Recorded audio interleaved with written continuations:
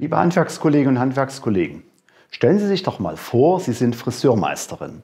Sie haben im ersten Lockdown keine Soforthilfe bekommen, weil Sie mehr als zehn Mitarbeiterinnen und Mitarbeiter haben.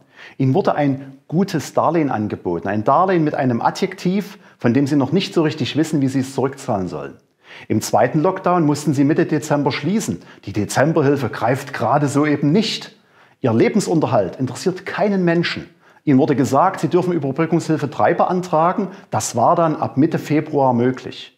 Und zur Belohnung, dass Sie die Gesellschaft vor Infektionen geschützt haben, dürfen Sie zwar am 1. März wieder öffnen, aber die Corona-Tests für Ihre Mitarbeiterinnen und Mitarbeiter dürfen Sie selbst bezahlen. Tests, die in vielen anderen Bereichen vom Staat, vom Steuerbezahler äh, übernommen werden. Bei Lehrern, im öffentlichen Dienst, beim öffentlichen Personennahverkehr, all das zahlt der Steuerzahler, das zahlen wir. Das ist ungerecht. Das nehmen wir nicht hin. Sachsen geht einen Sonderweg, der falsch ist. Und das müssen wir anprangern.